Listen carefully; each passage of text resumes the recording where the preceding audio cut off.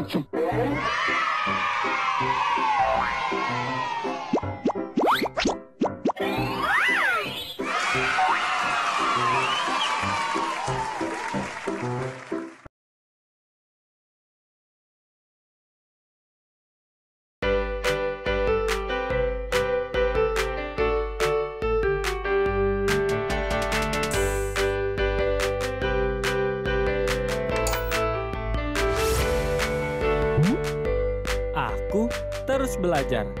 Episode 96 untuk teman-teman kelas 2.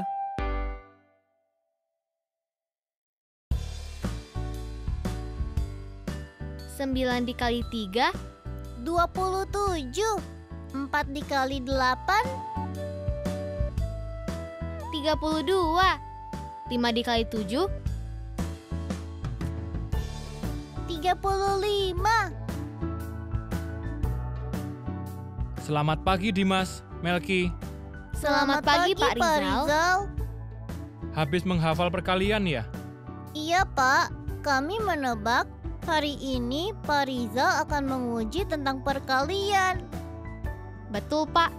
Jadi kami latihan dulu supaya bisa melewati ujian dari Pak Rizal hari ini. Bagus, tapi sayangnya saya tidak akan menguji kalian tentang perkalian hari ini. Sia-sia dong kita berlatih tadi. Iya, Dimas. Percuma. Kalian salah. Tidak ada yang sia-sia dalam belajar. Apa pun yang kalian pelajari, selama itu baik, pasti akan berguna suatu saat nanti. Jangan cuma belajar ketika mau ujian. Belajar itu terus-menerus. Jangan pernah berhenti. Baik, Pak Rizal. Ayo, berdoa dulu. Ayo Melki. Ayo, Dimas. Sebutkan sekarang hari apa dan tanggal berapa. Sekarang hari Kamis, Pak. Tanggal 27 Mei 2021, Pak. Hari ini, kalian masih akan saya uji tentang keberhasilan dalam pelajaran di sekolah. Selama menjadi murid kelas 2 SD, pastinya banyak pelajaran yang sudah kalian kuasai. Kami sudah bisa membaca dan menulis, Pak. Kami juga sudah bisa menghitung, Pak. Pintar. Tapi, pasti ada juga pelajaran yang masih belum bisa kalian kuasai. Betul kan? Betul, Pak. Apa itu? Apa kegiatan pelajaran yang masih belum bisa kalian kuasai? Kalian merasa tidak mahir, padahal kalian ingin sekali jago dalam kegiatan itu. Saya tidak jago menggambar, Pak Rizal. Gambar saya tidak pernah bagus. Padahal saya ingin sekali bisa menggambar pemandangan. Saya tidak mahir dalam pelajaran olahraga, Pak Rizal, terutama sepak bola. Saya ingin sekali seperti Cristiano Ronaldo atau Lionel Messi. Hari ini, kalian akan belajar untuk bisa menguasai itu. Hore!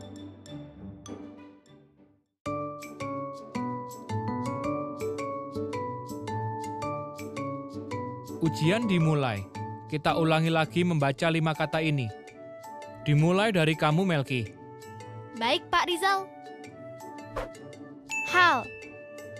Se, su, wa, tu. Se, o, rang.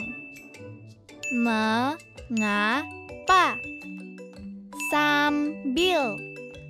Bagus. Sekarang giliran kamu, Dimas. Baik, Pak Rizal. Hal. Sesuatu.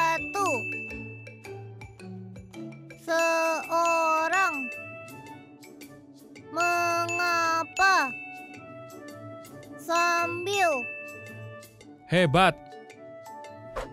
Aku tahu setelah ini kita akan melakukan apa, Melki? Aku juga tahu, Dimas.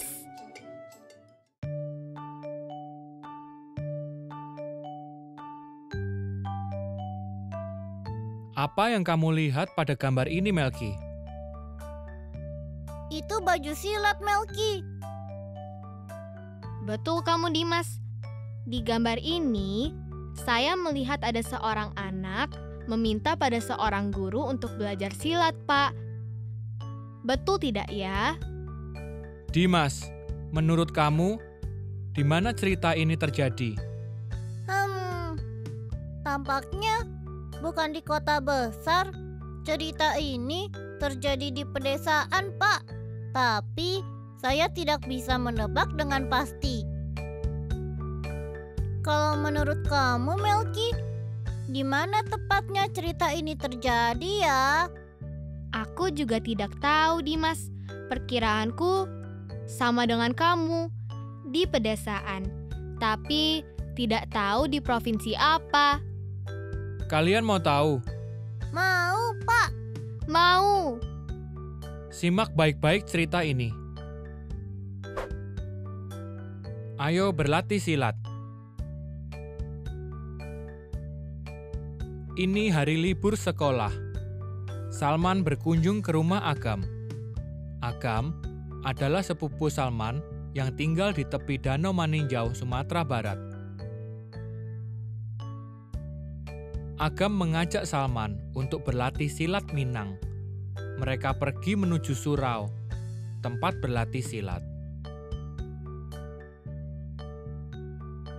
Wah, Salman kagum dengan aksi para pesilat. Salman tertarik untuk menjadi pesilat. Silat diawali dengan kuda-kuda yang kokoh. Tekuk lutut dan condongkan badan. Kaki kiri di depan, kaki kanan di belakang. Tangan bersiap di dada.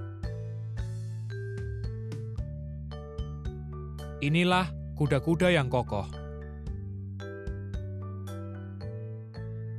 Belajar jatuh adalah bagian dari silat. Silat melatih tangan untuk mengunci, menangkap, dan meloloskan diri. Kenapa ceritanya berhenti, Pak Rizal? Memang ceritanya sudah selesai. Iya, Pak. Saya mau tahu bagaimana kelanjutan ceritanya. Saya juga, Pak. Kalian penasaran? Penasaran, Penasaran sekali, sekali, Pak. Pak. Akan saya lanjutkan ceritanya besok. Kalau penasaran dengan kelanjutan cerita, kalian harus datang lagi besok. Kami pasti akan datang, Pak Rizal. Betul. Besok kan hari terakhir kami diuji untuk bisa belajar silat dari Pak Rizal. Kami pasti datang. Bagus. Ceritanya mirip dengan kita ya, Melki. Betul, Dimas. Tentang anak yang mau belajar silat di waktu liburan. Berarti jawaban kamu tadi benar ya, Melki? Iya, Pak. Jawaban saya tadi benar. Kamu sudah tahu kan di mana cerita ini terjadi, Dimas? Sudah Pak Rizal. Di tepi Danau Maninjau, Sumatera Barat.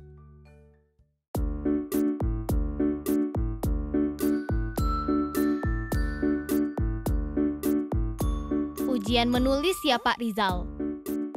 Betul. Ujian ini sudah pernah kalian lewati dengan baik, tapi tetap saya beri sekali lagi.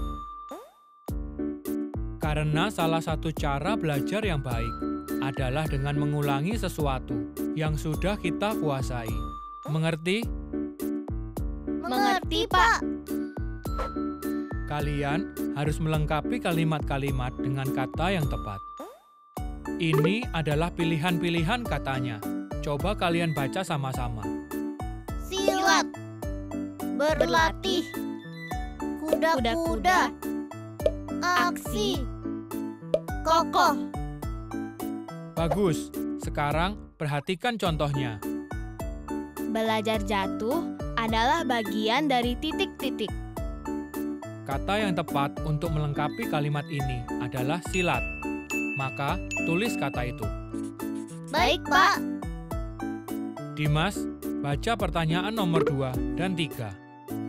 Nomor 2. Agam mengajak Salman untuk titik-titik silat Minang. Nomor 3. Wah, Salman kagum dengan titik-titik para pesilat. Bagus. Melki, baca nomor 4 dan 5. Nomor 4. Silat diawali dengan kuda-kuda yang titik-titik. Nomor 5. Inilah titik-titik yang kokoh. Jawab sekarang. Ayo Melki, Ayo Dimas. sudah, Sudah, Pak. Sebutkan jawaban dan baca kalimat lengkapnya. Nomor 2. Berlatih. Agam mengajak Salman untuk berlatih silat Minang. Nomor 3. Aksi. Wah, Salman kagum dengan aksi para pesilat. Nomor 4. Kokoh. Silat diawali dengan kuda-kuda yang kokoh. Nomor 5. Kuda-kuda. Inilah kuda-kuda yang kokoh. Pintar sekali. Saya ada urusan sebentar. Sambil menunggu, Melki, coba kamu gambar apa saja yang ada di sekitar sini. Dimas, kamu giring bola keliling lapangan. Baik, Pak Rizal.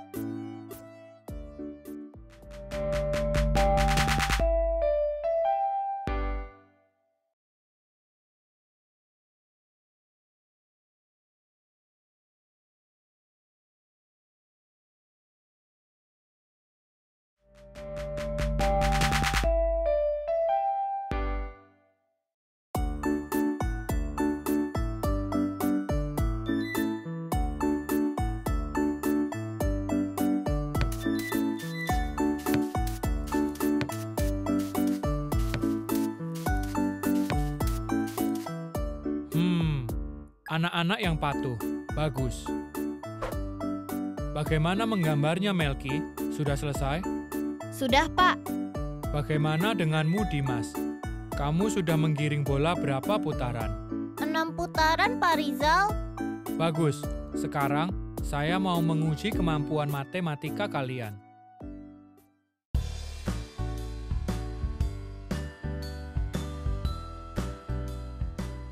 Apakah kalian sudah mempelajari berbagai bangun datar dan bangun ruang?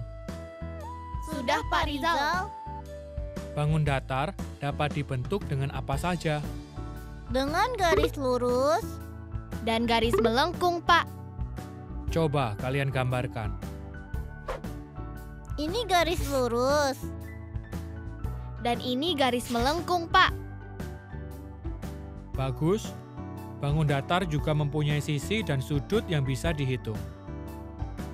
Melki, tunjukkan mana yang disebut dengan sisi. Ini.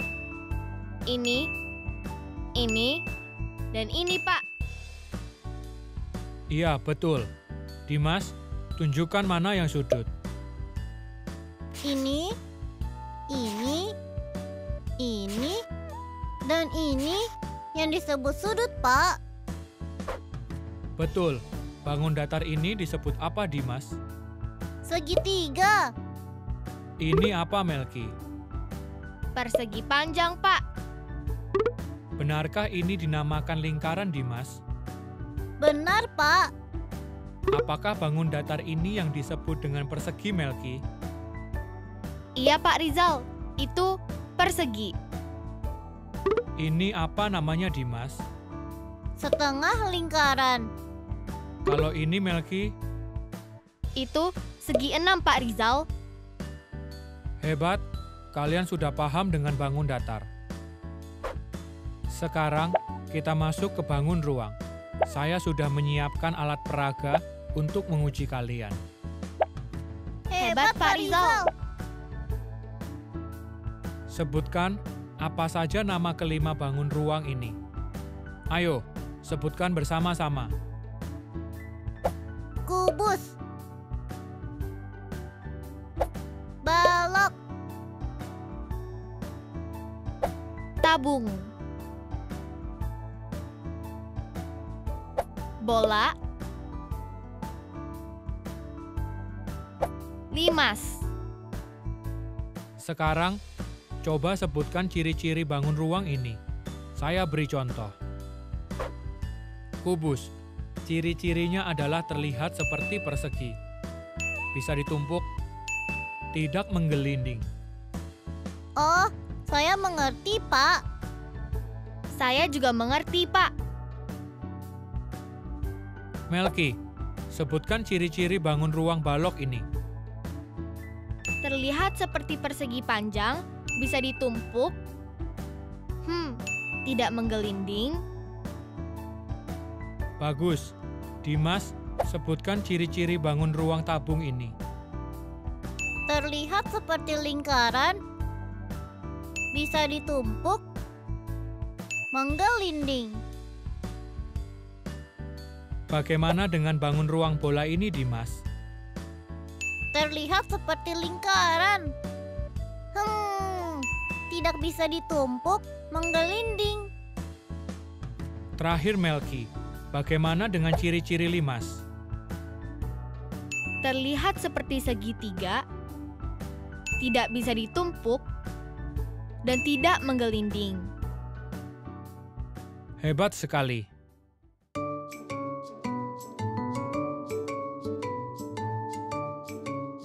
Sekarang, saya punya permainan buat kalian. Permainan apa, Pak Rizal? Permainan ini bernama Siapakah Aku? Wah, sepertinya seru.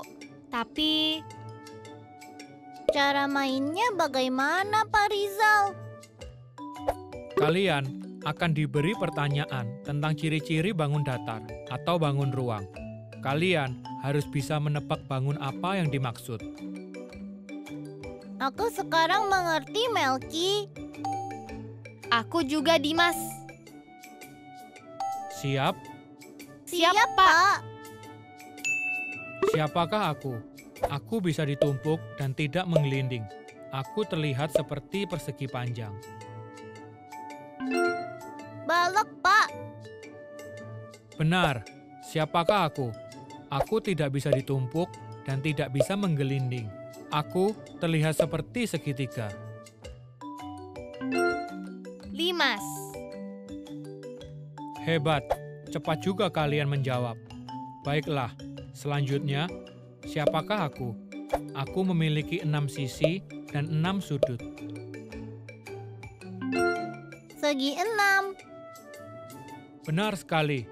Luar biasa Dimas, Melki. Apakah kalian bisa menebak bangun yang lain? Kami pasti bisa, Pak. Iya, pasti bisa, Pak. Baik, kita mulai lagi. Siapakah aku? Aku tidak memiliki sudut dan tidak menggelinding. Tabung, Pak. Tabung memiliki sudut, Dimas. Hmm. Bola, Pak. Bola itu menggelinding, Melki. Duh, apa ya? Saya ulangi lagi. Aku tidak memiliki sudut dan tidak menggelinding. Oh, lingkaran, Pak. Benar sekali. Pertanyaan terakhir dan paling sulit. Siap? Siap, Pak. Siapakah aku? Aku memiliki dua sudut. Dua sudut. Aku terbuat dari garis lurus dan garis melengkung. Aku juga tahu, Dimas. Kita sebut bersama-sama ya. Satu, dua, tiga. Setengah, lingkaran, Pak. Hebat, pintar sekali kalian.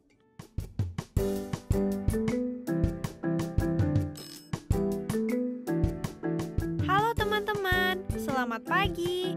Kemarin aku meminta kalian untuk menyiapkan kertas karton. Apakah sudah disiapkan? Sudah?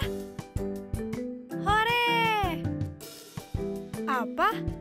kalian juga sudah menempelkan lima karya terbaik kalian di kertas karton? Wah, hebat! Berarti sekarang kita masuk ke langkah ketiga ya. Kita tulis di bagian atas kertas karton judul karya dan alasan mengapa karya tersebut adalah yang terbaik menurut kalian. Ayo kita tulis teman-teman. Selesai. Tinggal menghias deh. Besok kita jumpa lagi untuk menghias karton kumpulan karya terbaik kita ini ya. Sampai jumpa teman-teman. Dimas, coba kamu giring bola secara zigzag melewati ember-ember itu. Baik, Pak Rizal. Ayo Dimas.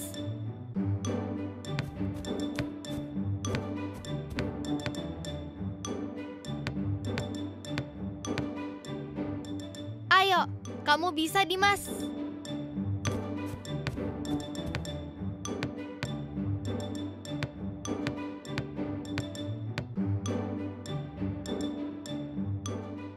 Maafkan aku, Melki.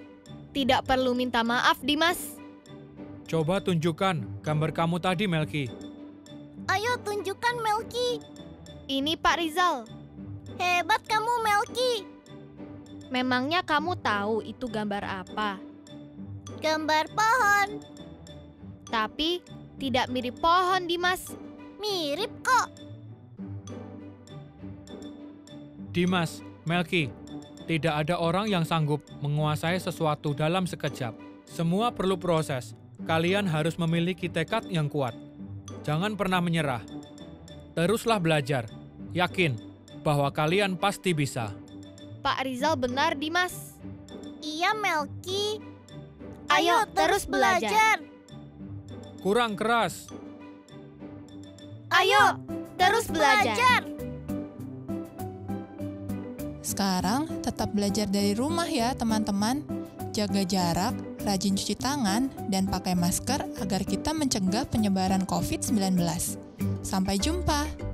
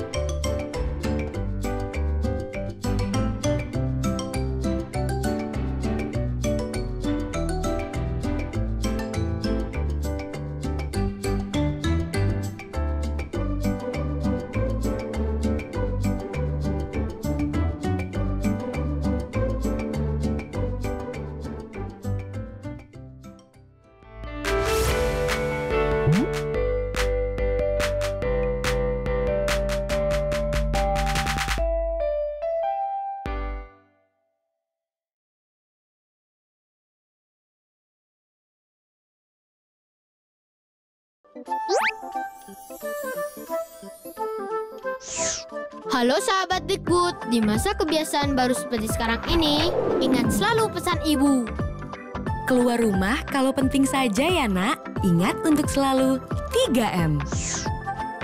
3M itu mudah dilakukan dan bisa mencegah penyebaran virus corona. Menggunakan masker, mencuci tangan dengan sabun dan air mengalir, menjaga jarak. Sahabat Dikbud, kalau kamu sayang keluarga, jangan bawa virus ke rumah ya. Ingat pesan ibu, ingat 3M.